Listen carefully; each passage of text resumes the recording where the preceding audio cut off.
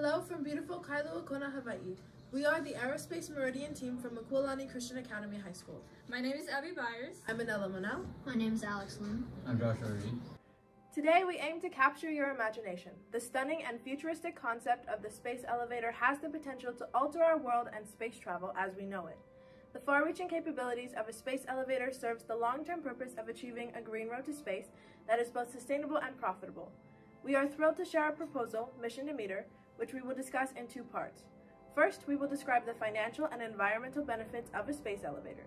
These benefits will be achieved through the elimination of fossil fuel-based rockets, exponentially aiding the environment as well as reducing the monetary cost of space exploration. Second, we will present our plan to use space elevators for asteroid mining. This would be achieved by first exploiting the near-Earth asteroids to test the sequential fragmentation technology. After this technology has been proven, our ultimate goal is to harvest the immense resources of Mars vicinity asteroids such as Hedda, Austria, and Boliviana. So let's dive in. First, we'll consider cost efficiencies. Rockets require significant monetary investment to design, construct, maintain, and send into space. The cost of sending a rocket into space ranges from 21 million to over 1 billion dollars. For fuel alone, the cost is extraordinary. For example, the 91 Falcon 9 launches by SpaceX in 2023 resulted in an estimated fuel cost of over $80 million. Now, if we take into account the overall cost of the Falcon 9 launches in 2023, the estimated expense amounted to $6 billion. While these numbers are limited to the SpaceX Falcon 9 launches of 2023, they offer a clear illustration of the exorbitant and extraordinary cost to sustain space travel as we know it. A critical question remains Does a more economical means exist? A space elevator presents a viable option for mitigating this expense. While the construction of a space elevator is estimated to cost up to $6 billion, once it is built, its maintenance is expected to be relatively low in comparison to annual rocket launches.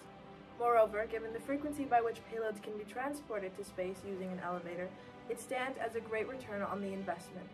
Employing alternative power sources to eliminate fuel costs is a means of ensuring that a space elevator is beneficial from both an economical and environmental standpoint. To power the space elevator, our plan is to use solar energy instead of fossil fuels. By fueling the space elevator with solar energy, the amount of greenhouse gas emissions will be reduced. We can shift away from fossil fuel-based launches, replacing them completely. By replacing them, we can help rid the planet of further threats that come with mining and using fossil fuels, like carbon emission, air and water pollution, soil water management, strip mining, and damaged ecosystems. About 98% of fuel that rockets emit launches them from Earth to LEO. This expense will be eradicated with the use of a space elevator by spacecrafts reaching LEO through the space elevator. When a spacecraft is in GEO, a change in velocity, delta V, is required to transfer the spacecraft from GEO to LEO. Because of this, our team has decided to use Hall thrusters, which can do up to 8,000 ISP. The higher ISP, the higher the potential velocity and lower propellant cons consumption rate.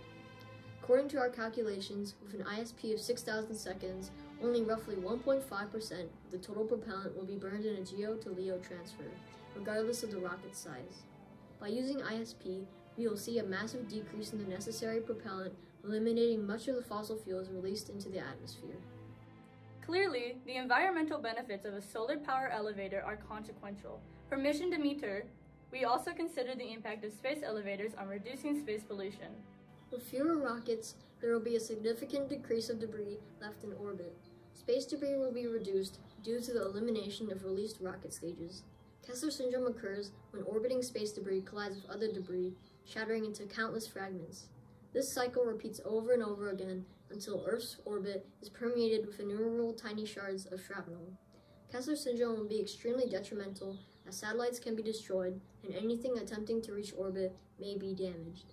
Through the implementation of a space elevator, Kessler syndrome can be prevented. Rocket stages are a sizable contributor of space debris, averaging at around 11%. Therefore, abandoning rocket usage in service of sustainable space elevator will decrease the possibility of the occurrence of Kessler syndrome. There will be little to no rocket stages expended if we utilize the elevator, as the rockets will be launched from the space elevator platform located in GEO. Additionally, we propose the space elevator possess an attachment to remove space debris from orbit, such as a net to sweep the debris into a collection chute. An invention like this could significantly reduce space debris and save on financing, shielding, and protection equipment. We trust that our presentation of the financial and environmental aspects of Mission Demeter has conveyed its tremendous benefits. We now wish to highlight its progressive capabilities and present our plan to use space elevators for asteroid mining. Asteroid mining is a new frontier in resource harvesting, the pursuit of which a space elevator could help facilitate. First, we aim to target smaller and closer NEAs as initial testing to demonstrate the possibility and effectiveness of our method. Following the success of mining these smaller and less valuable NEAs, we plan to expand our horizons to access further, more lucrative asteroids. For mining the NEAs and further asteroids, a remotely operated spacecraft can be flown to capture the asteroid and slow its spin by anchoring it down. After anchoring the asteroid, resource harvesting is dependent on the composition of the asteroid. However, the overall process for NEAs is to utilize optical mining, which functions by concentrating sunlight onto the asteroid's surface. This process would be used primarily for extracting water, but could be tested for metal mining.